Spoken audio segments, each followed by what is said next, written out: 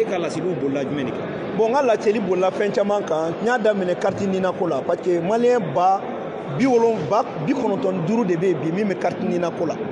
e jumɛn de b'o yira o non ne ye ankɛti ko kan o sifuru bɛ ne bolo a tɛ sɔrɔ an ye sɛgɛsɛgɛli kɛ ka baara ka kan wa ni gouvernement ma kariti nina ko ɲɛnabɔ yanni uti ni septembre cɛ maliyɛn ba bi bi naani ni duuru de bɛ bɔ kɔfɛ ka na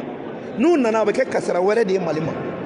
donc eh, o bɛɛ la o maliyɛn minnu bɛ kɔfɛ olu bɛ wari min di gouvernement ma san kɔnɔ mali ma ça fait 1 milliard 1600 milliards a bɛ i n'a fɔ cogɛli bɛ ka budget miliyari ba kelen ni kɛmɛ wɔɔrɔ a bɛ i n'a fɔ segali bɛ ka birijɛ mun perezante anw kɔrɔ n'i y'o o 78 pourcent ta maliyɛnw b'o de contribuer e cɛ maliyɛn hɔrɔnya bɔr'u la danbe bɔr'u la u tɛ sunɔgɔ u t'u ka hakɛ sɔrɔ diɲɛ bɛɛ bɛ k'i ka problème ɲɛnafɔ mali i b'a fɔ ko mali amatadɛriw n'a kɔntulu bɛ ko wɛrɛ de kama mun tɛ maliyɛn lajatura ye donc an y'o kuma fɔ cokɛ le jaabi mun di jaabi ma ne nimisi wasa mun de kɛra ka jaabi a ye ko ko eh, nimoro ko kuma de don ko n'o nimoro sɔrɔla k'an bɛna carte biométrie kɛ nimoro ko tɛ problème mun bɛ yen i bɛ problème ta de k'a résolue karisa e ta ye si yɛlɛma ye wa awɔ a y'a si d'a ma ci min ka d'a ye a y'a fara a kun mun na mɔgɔ min ye ba ba tigɛ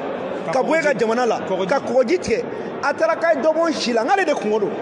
n'u taara bilanw fɛ bilanw bɛ dɔ b'u ci la aw maliyɛn minnu kan k'u dɛmɛ aw tɛ o ci kɛ ne min filɛ nin ye ka kuma ne ye dɔ bɔ n ci la pour que ka kalan kɛ o kɛra waati jumɛn e mɛ o y'a sɔrɔ an bɛ troisième année la dɔ bɔra ne ci la tuma an tun bɛ gɛn de o an tun ka kɔrɔ donc i tun tɛna donc mais donc an tɛna kɛ an tɛna mun dɔgɔtɔrɔ kalan wa e ba a y'a sɔrɔ an tɛ an tun bɛ wotoroni pousser dɔrɔn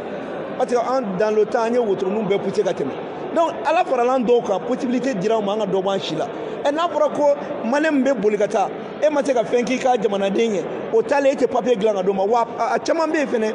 olu yɛrɛ de ye erɛriw kɛ papiyew la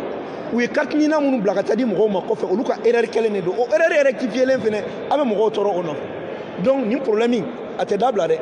anw bɛ nin ko sama de f'a ka ɲɛnabɔ mɛ je tɛ ke autoritéw y'a mɛn u b'a dɔn ko ni ne kɔni ye kɛlɛ mun daminɛ an ta jɔda t'a la donc an bɛ non a tɛ jɔ